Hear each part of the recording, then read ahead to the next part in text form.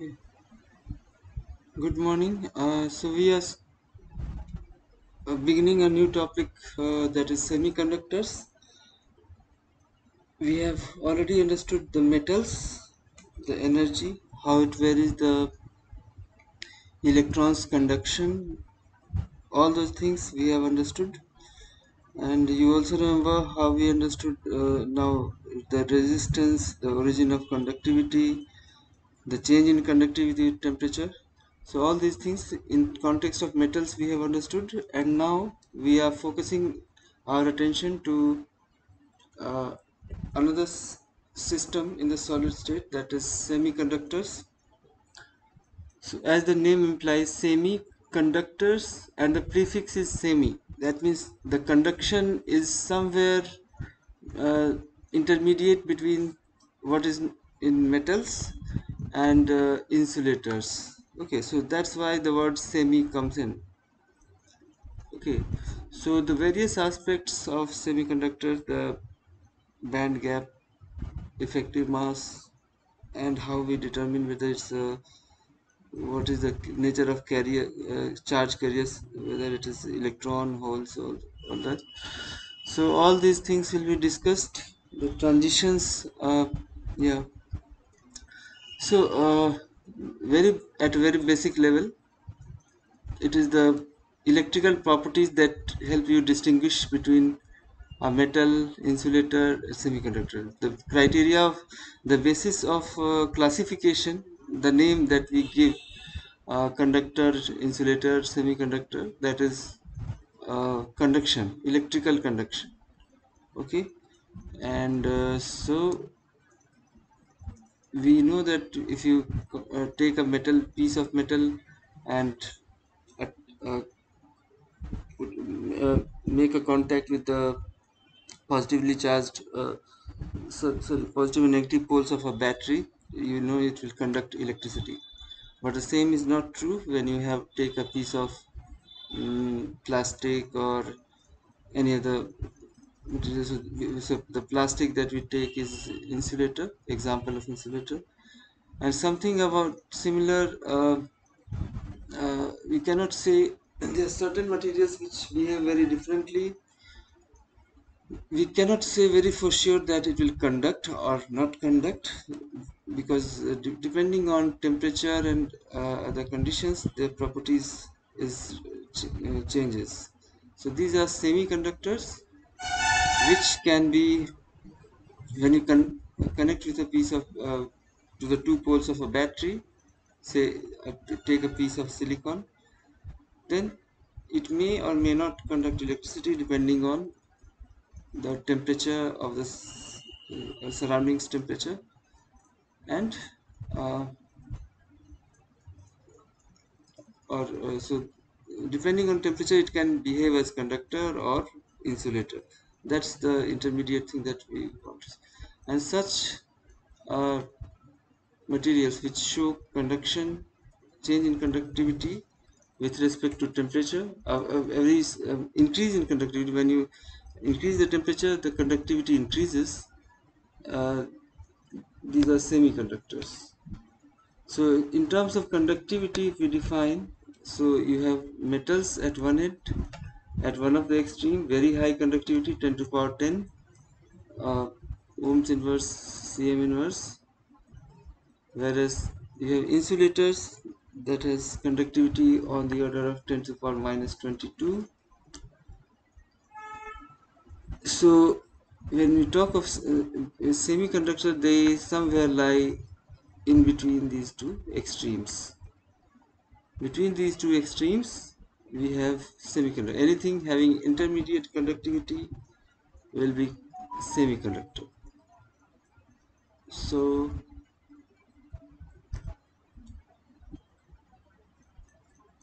okay so if you so band theory of solids we have just uh, learnt about it how the bands are formed. Just a moment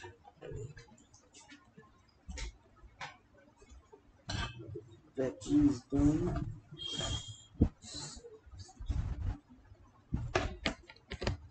okay so this is uh, what we understand. So you have if you have a filled completely filled band and then completely empty band above it and in between you have energy uh, uh, no energy levels available so that is forbidden region. That we say so this is uh, gap. And we have already understood this uh, structure in while discussing metals. I also told you about this. So so uh, there's there, there's so between two bands if you have a forbidden region there's a region where there's, there's no electrons can be found so that is a forbidden region. And the energy gap between the top of the uh, valence band and bottom of the conduction band the empty band that uh, that we can see that is your band gap.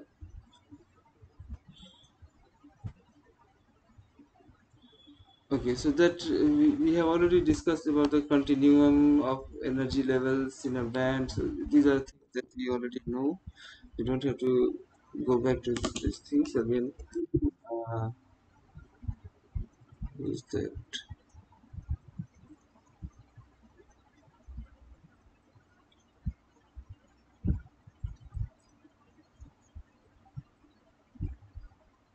Okay. So is separation between uh, so so uh, you have a conduction band uh, so uh, now you should uh, so the few things that will make it uh, interesting so suppose if you, if you have a silicon having a crystal of 1 cm cube dimensions having cm 1 cm cube so you can think of do you know how many atoms are there? It can be calculated it is not difficult. Atomic mass of silicon is if it is known you know the Avogadro number so you can easily find out how many atoms can be present. So divide this uh, mass of uh, yeah atomic so you have density of silicon is this. So so total number you can find you can find this by taking it so 1 meter cube contains 2.3 and so you can uh, in 1 meter cube you have 2.3 into 10 to the power 3 kg is the mass. So 1 centimeter cube you will have you can find out it is not difficult. So once you have found the mass in 1 cm cube you have 2.3 grams present. So divided by atomic mass. So you know how many moles are present and then that number of moles multiplied by the atomic sorry Avogadro's number. Gives you the atoms number of atoms. Not difficult thing. So uh, each so a single silicon piece one cubic centimeter that you can take uh, so energy levels that you can think of. Each electron energy levels is so it, is so number so these are the number of atoms. So you can expect these many energy levels as well. That is uh, so there are so many energy levels that you can think of. Is placed there. so one uh, so the, these are arranged in uh, band uh, that continuum of energy level which is completely filled. This is filled band empty band. All energy levels are empty no electrons is there. And so between uh, so the elect to take so conduction will occur when some of these electrons are excited to the uh, this empty band. And so the electrons once they are here they will they have availability of energy levels without any cost of elect uh, energy. So they are uh, so energy levels are available orbitals are available without uh, because the continuum of energy that we have already seen. So this is the kind of structure. So energy full valence band empty conduction band and the gap. So this is this is the thing that characterizes the basic characteristics of a semiconductor and the gap is small enough uh, such that if you change the temperature a bit it will show some of the electrons can be excited to the upper uh, band this is the conduction band. So so we, have, we we already know the full band cannot conduct electricity neither an empty band. So fully filled or fully completely empty band. In both cases we have no conduction. So in semiconductors uh, you cannot if you say at 0 kelvin you take a semiconductor and try to make contact with uh, positive and negative poles of a battery there will be no conduction. It will be absolute insulators. At very low temperature say 0 kelvin it will be behaving as insulator that is no conduction at all. But as the temperature is gradually raised it is found that uh, the conduction increases gradually. And uh, so that happens because the thermal energy that is uh, kt you what is thermal energy? It is the Boltzmann constant times T temperature. So thermal energy it is it also represents the average kinetic energy of a molecule or, or atom or in this case the electron. So this energy that kinetic energy that is possessed on an average by the electron or that is the thermal energy. The thermal energy of the electrons at the top of the full band is lower than the gap. Of course the gap is at low temperatures but as the temperature increases this uh, thermal energy increases and the electrons can if they, it exceeds the band gap it can go to the conduction band so so you need to provide some kind of energy to uh, so that the electron sitting at the top of the valence band that is here electron sitting here is should go to this. So we need some energy that is equal to uh, this gap energy.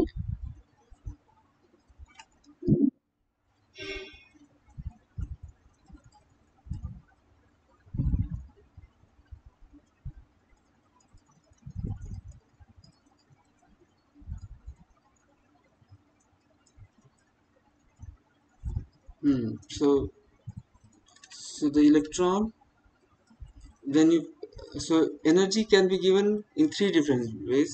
Either you can heat it so that is you are providing thermally you are exciting the electron.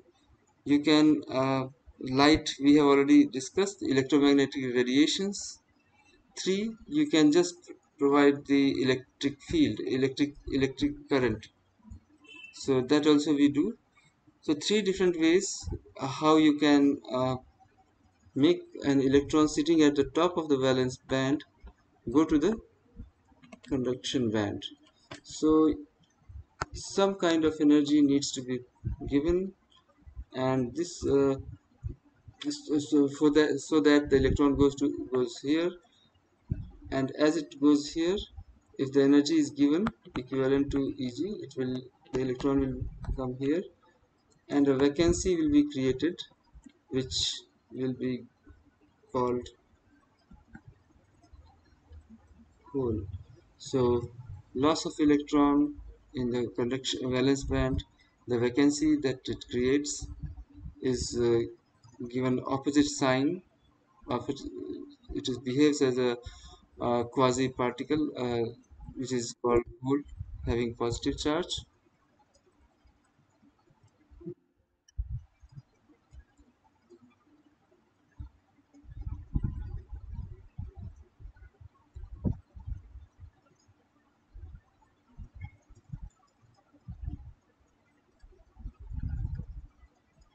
जल्दी आ जाए कीजिए भाई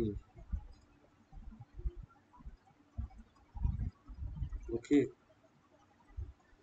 so okay zero zero kelvin uh, so as i told you at zero kelvins electron is sitting at the lowest energy levels possible so they are just the valence band is filled up to the top level and there is no conduction at all because this is empty.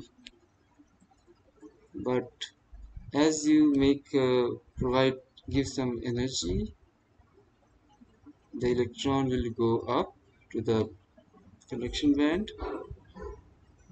Leaving and that missing missing electron state the the the vacancy that is left behind is thought to be uh, the missing electron is is called a hole. And that hole is shown here with a positive sign. It is it is thought to be behave as a positive positively charged particle. So that also electron uh, so both the holes created in the valence band the electrons that are in conduction band both will help you in conduction conducting uh, in conduction. Both help in conducting conducting the electricity. Okay. So electron moves in the as as the uh, you apply the now if you have if this is the situation when you have some electrons over here in the in the conduction band after you have provided certain amount of energy then you apply electric field uh, you uh, make a contact to this uh, say it is a silicon crystal which uh, you are now making a contact with the positive poles and negative poles of a battery. You will see a conduction. So uh, the conduction what are the charge carriers here? So electrons move in the conduction band while the holes will move in the valence band. So this electrons and holes are the charge carriers. So electrons the negative charge carriers the holes are positive charge carriers. So the magnitude of charge that we are assigning to the hole and uh, that is h sometimes we denote it as h plus it has same charge as that of the electron in terms of magnitude and the sign is different so uh, if so holes will so uh, that's what I was showing you in the previous slide that electrons will continue moving in the valence band. Sorry electrons uh, uh holes will continue will move in the valence band and electrons in the conduction band. This is conduction band this is valence band. So when you apply electric field when you apply uh, that is in practical sense that means you are connecting it to the positive and negative terminals of the battery. You will see the current flows. So uh, so electrons holes taken together they are the charge carriers of the in the semiconductor the charge carriers are electrons and holes electrons in conduction band and holes in valence band. These are your charge carriers. That is you need something to carry the charge from one end to the other end of the battery.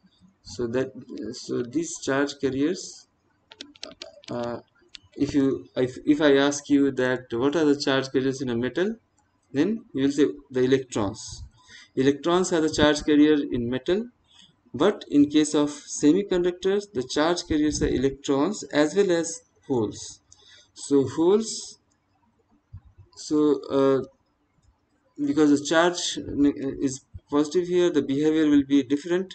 It will move in opposite direction to the electrons. And so uh, as electrons move in this direction their energy increases whereas the holes if they are moving in the downward direction in the valence band uh, valence band structure their energy increases. So it, and uh, so that is they are moving to the higher energy states. So the valence band uh, holes as I told you that is H plus. Usually we denote by this sign are the charge carriers in the valence band they contribute to the electron uh, to the current electric current flow of electric current. And electrons help you con uh, conduct in the by in the conduction band create current in the conduction so hole is uh, is always to be so electrons can be a free particle that we can think of as we discussed earlier in quantum mechanics also. But hole is always it is it you cannot imagine a hole to a, a single hole to exist in a vacuum. It is always a bound particle. It is only when in the we are discussing a silicon crystal uh, any other semiconductor crystal we talk of holes. So it is not a free particle.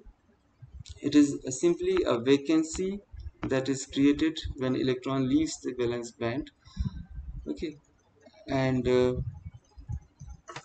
so when you have uh, as we have shown in the previous slide in the picture that through the animation the number of electrons in the conduction band would be equal to the number of holes created in the valence band.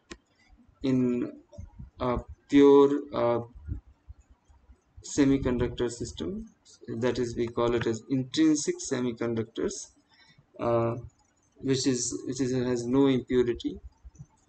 In that in those kind of semiconductors the number of electrons in the conduction band number of holes in the valence band. So remember these electrons in the conduction band are to be, the electrons are uh, there in the conduction band only when you give some amount of energy at 0 kelvin there is nothing in the conduction band so so there are so we define uh, based on this kind of uh, this property we also define semiconductors as intrinsic extrinsic or doped. So intrinsic uh, uh sorry intrinsic uh, or extrinsic semiconductors. Intrinsic means you have no, impurity atom present. No uh, whereas extrinsic means that you are either in the crystal lattice of a semiconductor you are adding some few amounts of a small proportion of proportion uh, small amount of another at uh, another element which can increase the number of holes or the number of electrons. So example you have uh, for example in a silicon crystal you can think of adding phosphorus. So it, it has uh, contribute to one more electron excess of electron 5 uh, because and you can also think of uh, adding aluminium which can then increase the number of holes in the valence band. So that will be something different. We will be we'll come back to that thing later the extrinsic extrinsic doping and extrinsic semiconductors. So there are two carriers uh, and these electrons uh, in the electrons in the conduction band and holes in the valence band. These two make uh, are the uh, are the uh, charge carriers in a semiconductor. So after the transition this is the situation. In a valence band some of the electrons have gone to the conduction band. So this top level appears empty which is now we are uh, assigning as uh, so it can conduct electric current so the conduction is uh, is due to both the electrons and holes. And that's why sometimes we also say that a semiconductor is a bipolar conductor. So now you have uh, once the excitation is done you will have partly filled conduction band and a partly filled valence band. So this is uh, a valence band. So yeah the question that we can ask ourselves how can how can you excite the electrons to the so that they make up to this?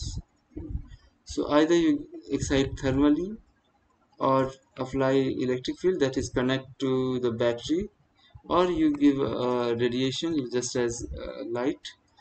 So we are more familiar with uh, providing elect this electromagnetic radiation that is the, the let the sunlight fall upon the sample and the electrons are, can be excited. So uh, all these situations can lead to uh, partly filled conduction band partly filled valence band uh, starting from initially a completely filled valence band and empty conduction band. So so this kind of situation uh, that can come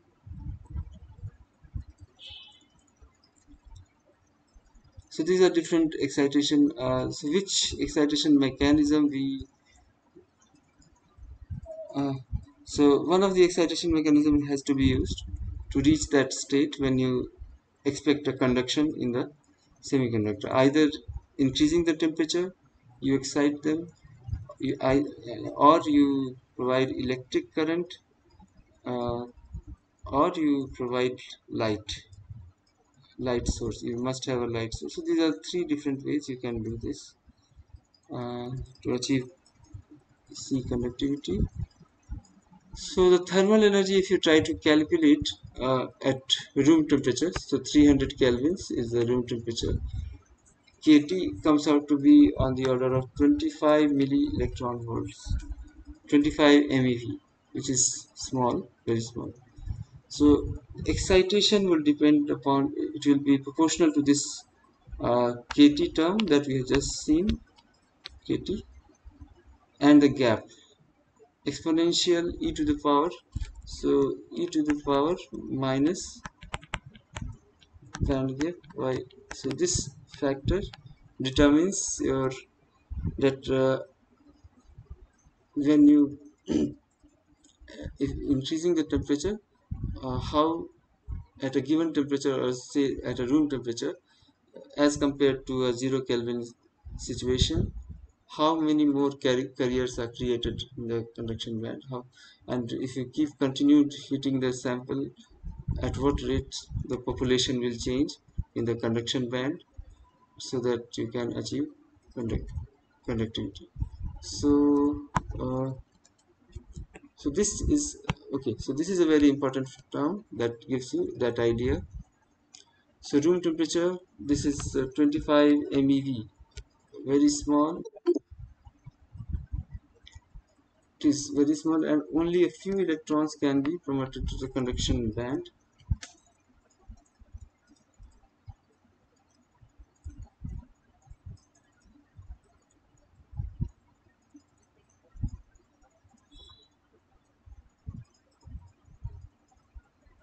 hmm. conduction band so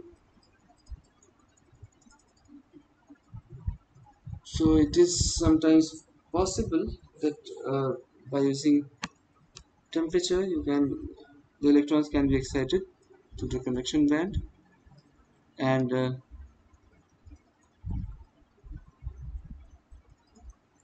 so as the temperature increases you can have more and more electrons going into the so the excitation of electrons that we we're talking about is a function.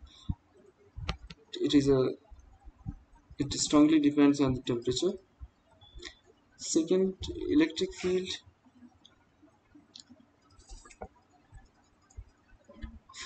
very small electric field the mechanism doesn't promote electrons such as in silicon if you're talking about silicon or gallium arsenide because uh, the energy required is much more uh, on the order of uh, so when you provide an electric field of 10 to the power 18 volts per meter so this is a very high electric field that we are talking about then that will equivalent of providing an energy of one electron volt. So the field required is very very large in that sense. So the use of electric field as an excitation to excite the electrons is not useful way to promote semiconductors. Uh, electromagnetic radiation we have seen. It is uh, one of the best way to promote electron from valence band to conductor. So for example if you take an uh, silicon silicon crystal it has band gap of 1.1 ev you convert into lambda wavelength you will find that it is comes out to be around uh, 1.1 micrometer. So this is the near infrared. So you need a near IR near IR near infrared light uh, that uh, so it is a very very low energy less than the visible light so visible का range आपका 600 से कितना 700 nanometre तक होता है 400 to 700 is the visible and beyond that is the near IR. So near IR is uh, longer wavelength uh, just above the visible where the visible spectrum ends. Okay, so near infrared light of uh, 1100 nanometer or this is 1100 nanometers if you can remember. So this is NIR near IR light source. You know visible range of visible light is 400 to 700 nanometers so as compared to this you are requiring even lower energy lower uh, uh, lower energy in case of silicon. So this uh, so this is simple calculations uh, if you can do that is shown here. The wavelength of light that is electron uh, so longer than sorry photons have the wavelength must be 1.1 micron or less. So so that was excitation. It, the reverse thing can also happen that uh, when electron is already in conduction band it can uh, it can come back to the ground state or in another way we say that the vacancy it has left that is the holes so this is the hole uh, so the electron recombines with the hole and the energy is given out in form of light. So that is in, in terms of photon some energy is given out and this is the so the reverse of the absorption. So this is emission of light that was absorption of light. In this case you are getting you get to see a glow around the substance where this happens. So that is the emission of light. So this so if you are uh, so you, you have to be very choosy very selective in your when you are trying to make uh, an, an led or lasers you need to choose uh, certain types of semiconductors which have very good property of uh, light emission. They must have a good light matter interaction. The band gap must be in the order of visible light so that visible colors you can see the uh, white light emission green or so that visible light emissions can be seen. So that is what we look for. There's certain more thing that we will learn about it so this uh, curvature that kind of thing that is shown this is the you remember? E versus k. In the e versus k graph you got this kind of parabolic curve. So that is what is shown here. Uh, so the magnitude of band gap is so this is uh, on the order of few electron volts in case of semiconductors. So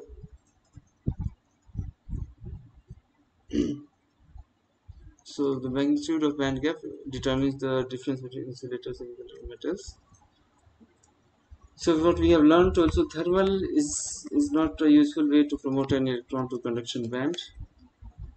So sometimes you might have to reach if you are hitting it as the substance starts melting. So that is not a good way you would try to avoid that. Uh, so best way is uh, uh, this is so what we have so even very high electric field is also unable to promote electrons. So what is the best way? Light. We provide the suitable elect, uh, electromagnetic radiation of a suitable wavelength. And then you can have a very easy in a very uh, same at room temperature you can have a large carrier concentration. That is a large number of electrons in the conduction band a large number of holes in the valence band that can be created. So that is a happy situation. So we all know what is uh, uh, so, so, we already know about the metals. Uh, this overlap of bands that happen and uh, the reason of conductivity we have already discussed again so i'm not going to that again. So in contrast to that we have uh, behavior in semiconductor which is different. And uh, then we come to this point of uh, effective mass is a concept that is very important in case of uh, semiconductors so imagine a free electron in vacuum free electron in vacuum. So when you apply electric field say one electron one volt it moves with certain velocity. But when you take the same electron imagine the same electron which is now in a crystal that is uh, a free electron uh, unbound unbound and this one is a bound state.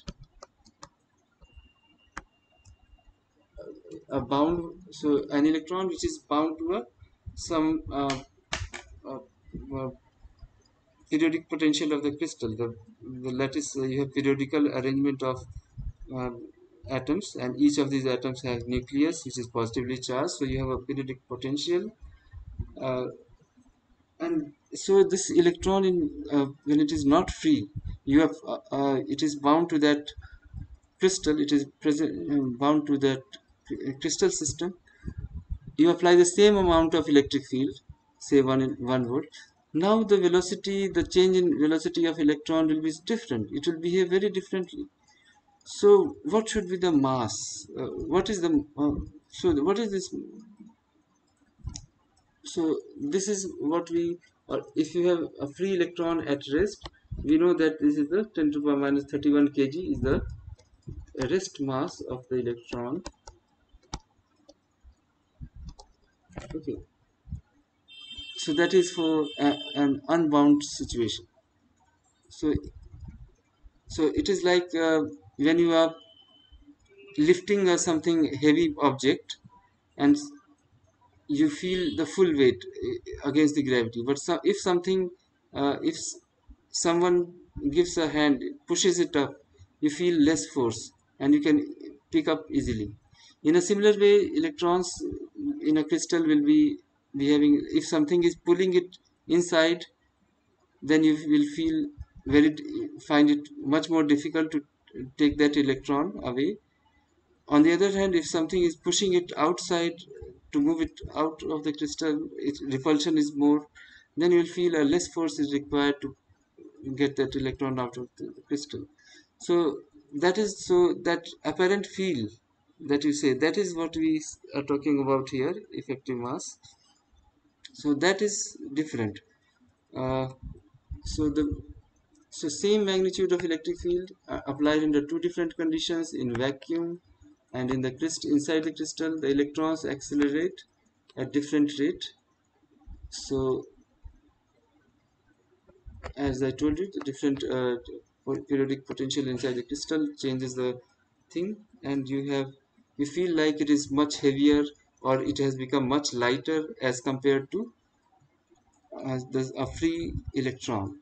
So that change in that uh, thing is called the effective mass. Uh, so the mass that you will feel is uh, in, in, in will be different from, as compared to vacuum. Uh, let me put it in another way. Let me take a fresh slide and I tell you at a very fundamental level. Uh, we can also understand the effective mass in a very different context. I can just put it like this. So you know uh, Newton's uh, uh, law. You are familiar with the Newton's law.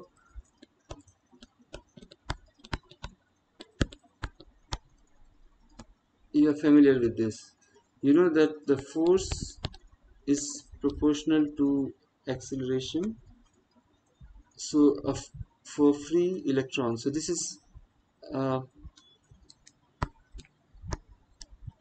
so force will be proportional to electrons so and uh, when you remove the proportionality constant this uh, constant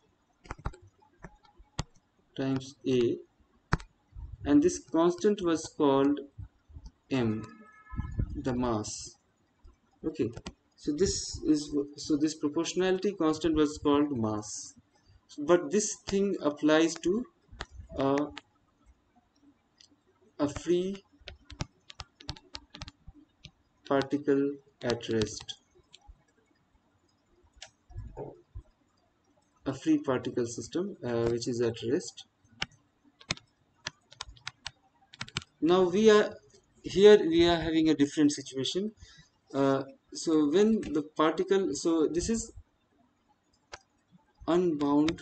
So this the Newton's law that you are visualizing here is for an unbound state. Unbound state. When it is there is no uh, attraction or repulsion from any other system.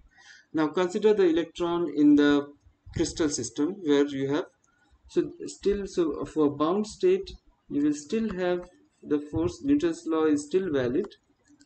The force is proportional to the acceleration but the proportionality constant that you will put now is something different. It is represented by m star which is this is rest mass.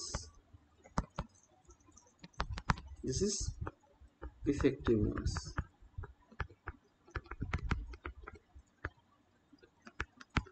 M star we are putting a star here. For to distinguish make it distinct from the other one and so this particular thing that we have just made out so this is applicable to a bound state in contrast. Any bound state will have so so uh, the Newton's law is still valid so you have to visualize in this way very different way that force was proportional to acceleration and the constant of proportionality was given a name and we called it mass. That was a free particle now when we have this similar situation when the particle is not free it is bound. When you apply certain force it will move.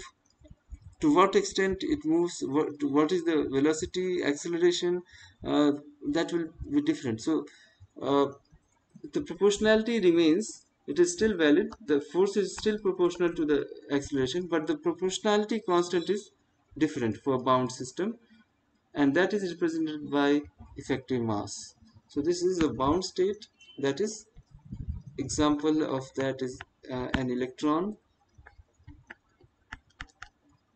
in a crystal.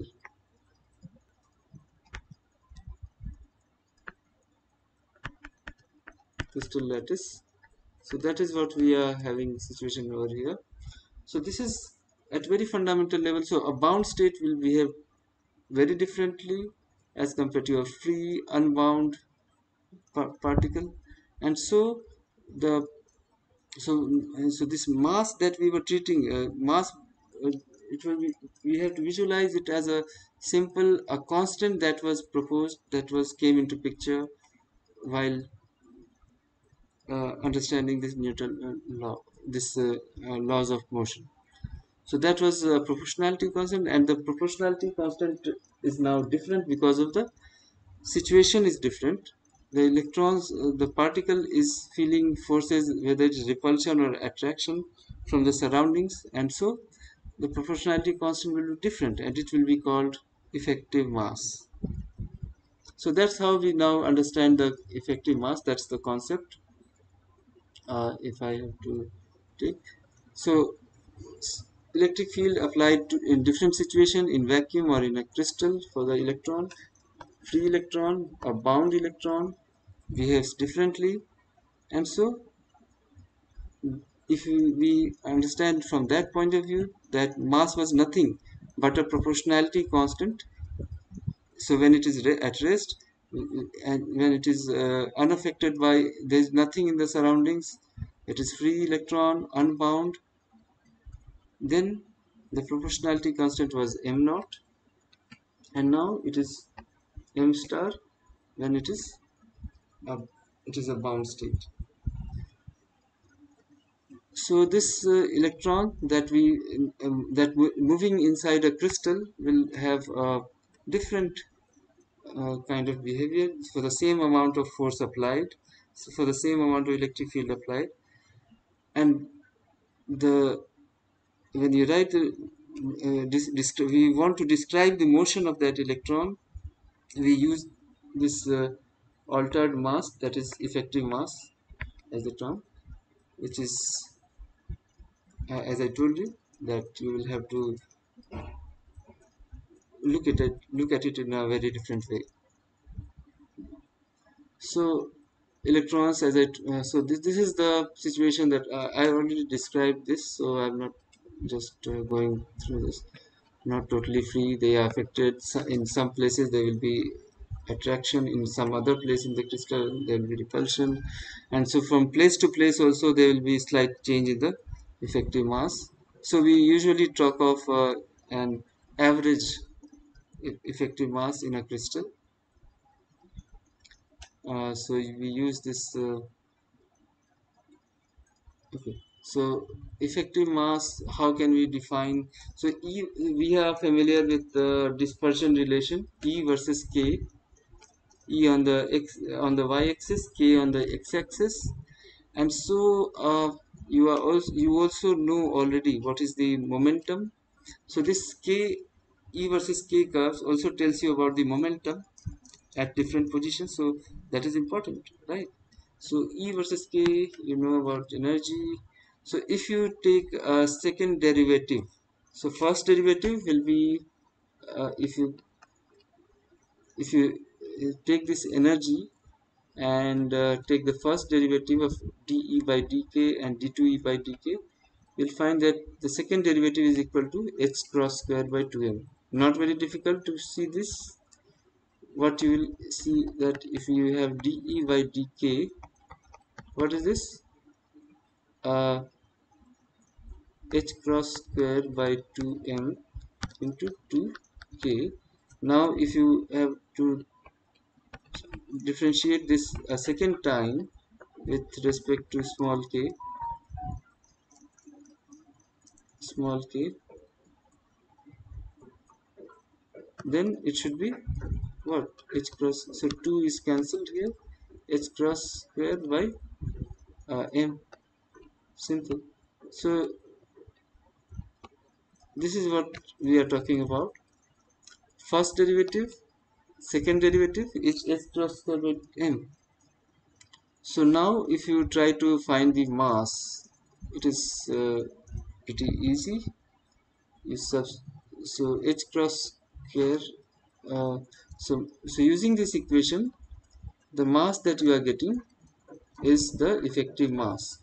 So when you take this into account the variation of energy with respect to k. K is the wave vector.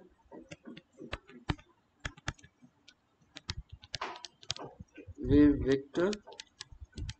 It tells you about the determines momentum in a crystal. So momentum and uh, uh, that from this graph second derivative of d2e by dk square you are getting. Uh, so this h cross square so what is this? We are talking about effective mass which is equal to what? Equal to h cross square by the curvature.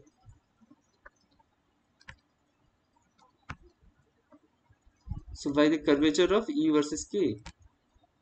So we are having the effective mass is nothing but h cross square by curvature. So second derivative is taken as first derivative is slope second derivative is curvature of E versus K right? So this h cross square by the curvature. So curvature of the E versus K curve tells you about the mass effective mass okay so looking at the picture you can see that effective mass is uh, positive or negative. It can be positive or negative. So you have uh, uh depending on different part of the slope uh, different part of the uh, uh, parabolic curve you can have somewhere it will be positive somewhere it will be negative. So all of this is possible. Okay so it is a, a variable as you look at the graph. At different positions you will have different values of the curvature. And so effective mass is variable and it is a uh, you can so effective mass is found by this double derivative which is uh, so curvature for the E versus K curve.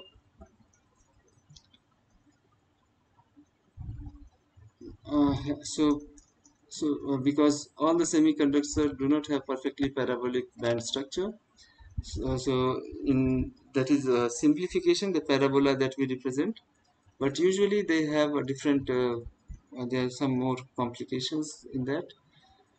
So uh, so different atomic spacing in each direction will give you different effective masses. That is possible corresponding to crystal directions. So we uh, in XRD treatment we in the discussion on XRD we also talked about crystal directions. So crystal directions so in different crystal direction you have different effective masses. And what we usually refer to is that we call take an average of that and say that average effective mass of this system is this uh, certain value. So that average we are uh, just showing over here so effective mass of uh, effective mass of uh, this electron in silicon is given by this. Effect this is the effective mass of for electron and this is the effective mass of holes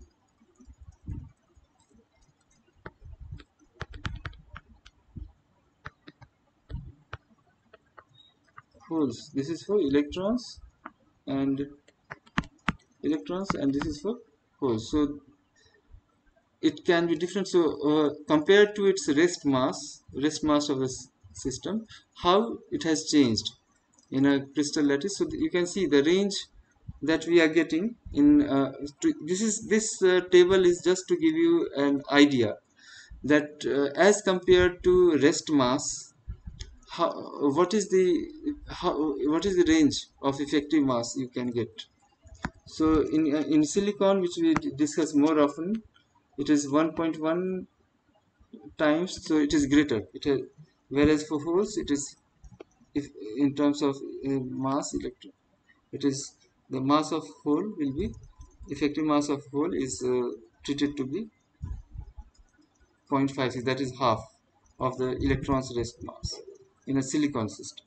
It will be different in case of germanium, uh, gallium arsenide. So each of the system has different effective masses for holes, average effective masses for. So all this comes from calculations of density of states, E versus K curve. So, uh, so density of states curve, the E versus K curve, these are giving you much more greater information. This is what the point that i always told you earlier that if you are plotting e versus k not only you are talk you can get to know about uh, the uh, transitions that are possible. Uh, also you get to know about the effective masses the change in effective mass that happens at different positions uh, different situations so these are the effective masses. So you can see it can uh, be less. In gallium arsenide we have 0.067 so effective mass is much less as compared to effective mass of uh, rest mass of electron. So higher than the rest mass less than the rest mass. So it is higher. So the two things are contrast. Uh, so not higher. We should write larger than than the rest mass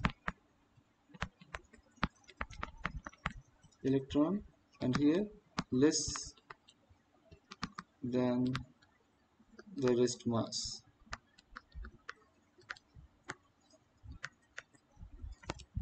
In gallium arsenide. So this is the situation that we have for effective masses so electron and holes uh, so we all treat them as waves. When we behave as we now know that they are behave as a standing wave in bound. Any bound state you have standing wave. When we have any part electrons uh, or holes we can write wave functions that describe their behavior. And we can find the de Broglie wavelengths to un understand that behavior.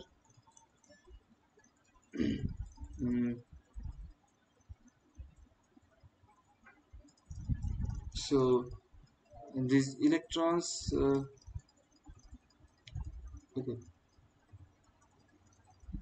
So okay so we will continue our discussion from this uh, onwards. Uh, i think what is the time now?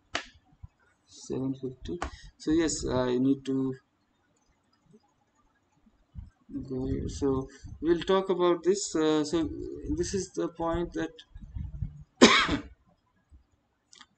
so we you can talk of the momentum of the electron h cross k k h cross 2 pi by lambda to lambda is the vector uh, so these are the standing waves 2 pi is also called uh, yeah k is the constant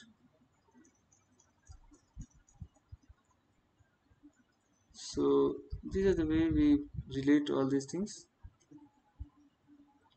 Okay. E versus K diagram is important in determining the crystal momentum and uh, momentum of the and the effective mass. So there are certain things p square by 2m and uh, so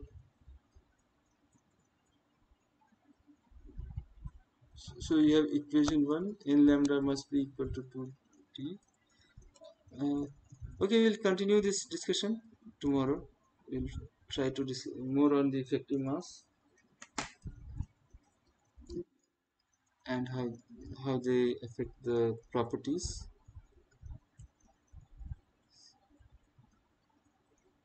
Okay. Thank you. We'll meet again